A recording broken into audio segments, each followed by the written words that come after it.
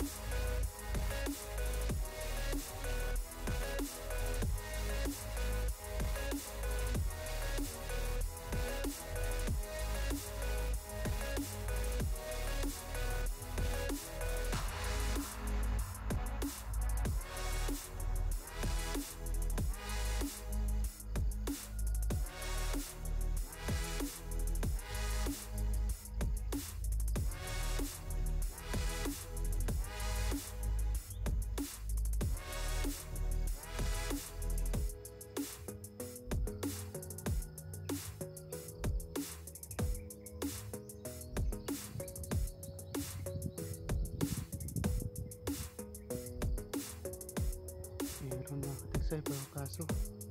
Dito nga banda mga 3 fingers hanap medyo lapad-lapad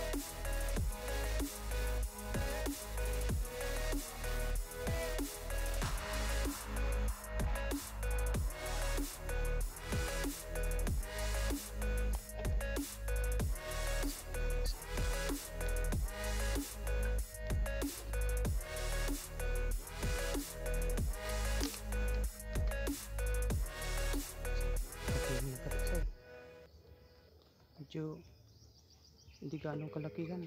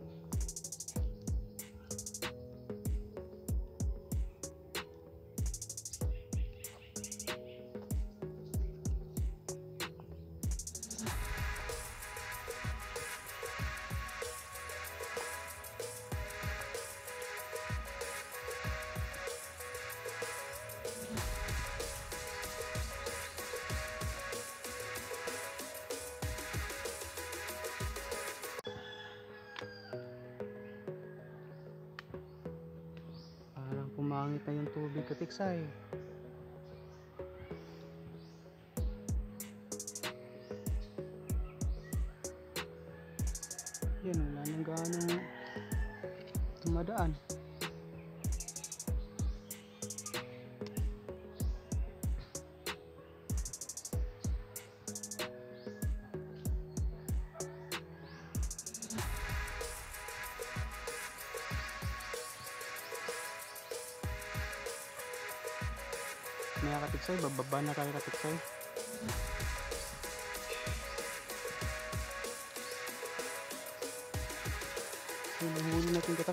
Hindi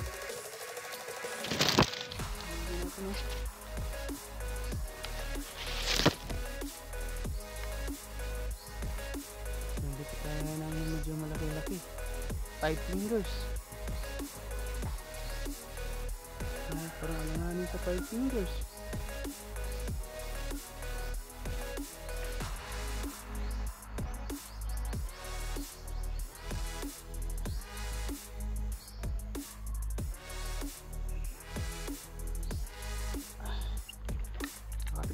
Bababa na tayo.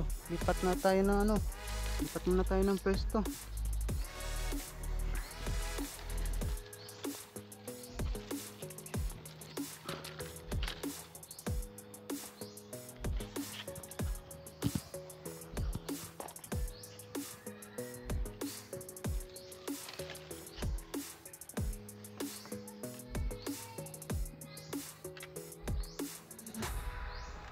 Pa doon sa ibang pwesto eh.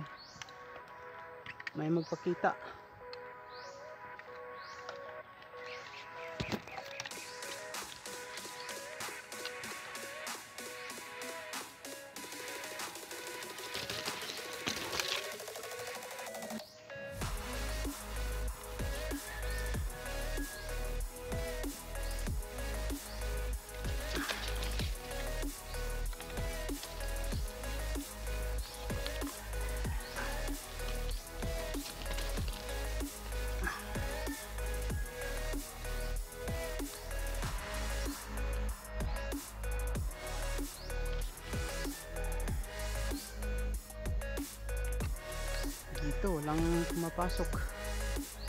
Dari dati, pumapasok sila dito.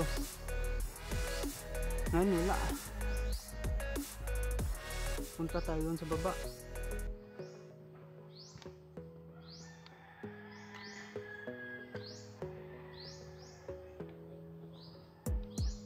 Uy.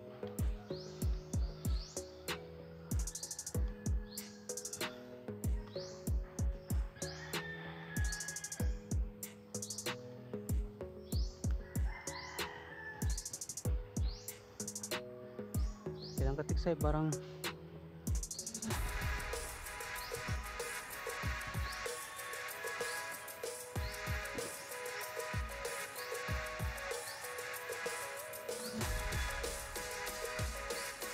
Kala ko nawala. Kala ko nawala yung pang tusok natin.